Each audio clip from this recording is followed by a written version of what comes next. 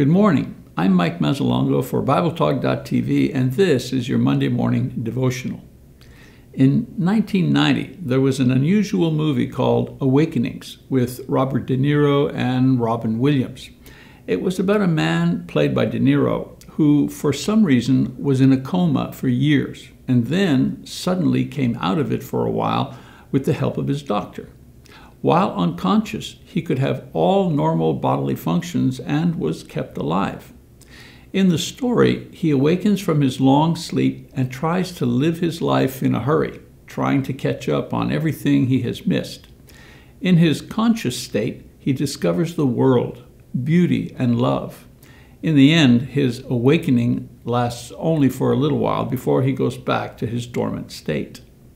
In Matthew chapter 12 verse 22, Jesus enables a certain man to experience a similar awakening, and it is interesting to note the results of the Lord's ministry to this person.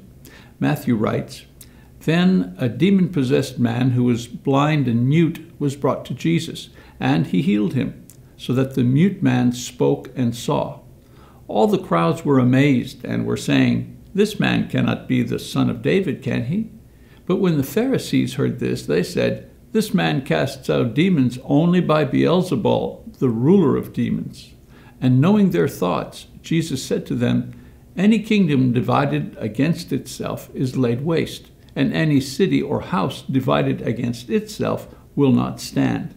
If Satan casts out Satan, he is divided against himself. How then will his kingdom stand?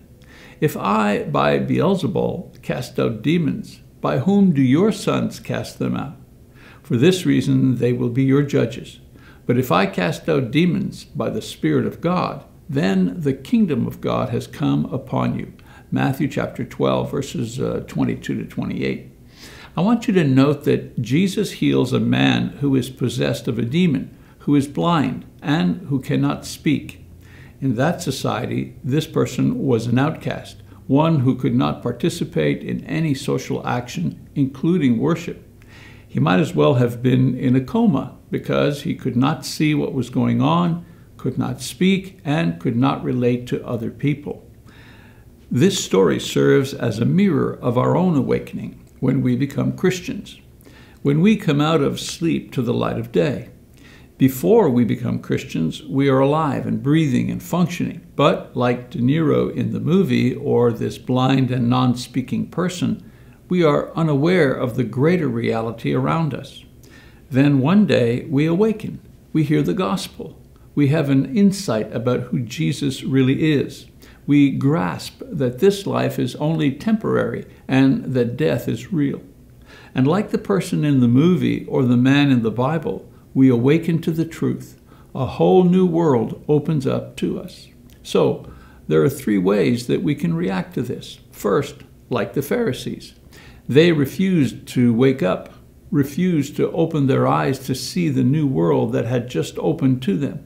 Instead, they made up reasons that would explain away what was plainly evident before them that a miracle had taken place, and it proved that a new era had dawned.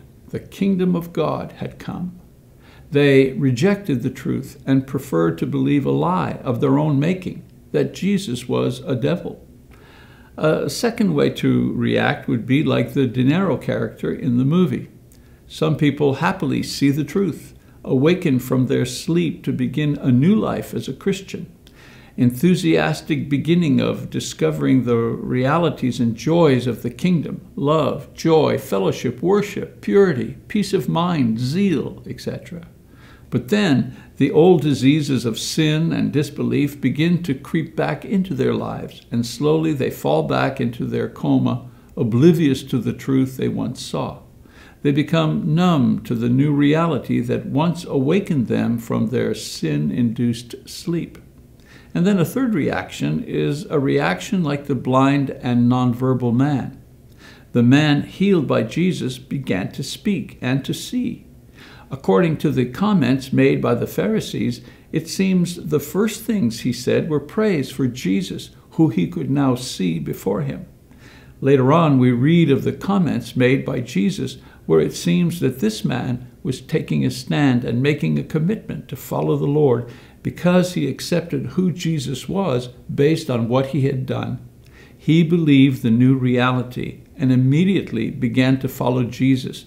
And since we do not hear from him again, we conclude that he remained faithful. My question here is who do you relate to in the story? The Pharisees, always finding an excuse not to come to Jesus? To the De Niro character, used to be awake but slowly going back to a coma because of sin and spiritual neglect?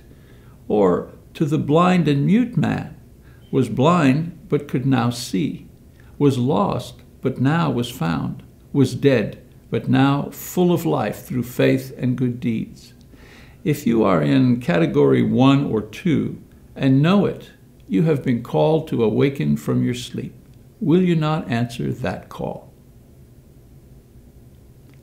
Discussion questions. Number one What kind of coma were you in before being awakened by the gospel? Number two What element of the gospel message or life of faith sparked your awakening? Number three What in this world is the strongest influence inducing you back to sleep?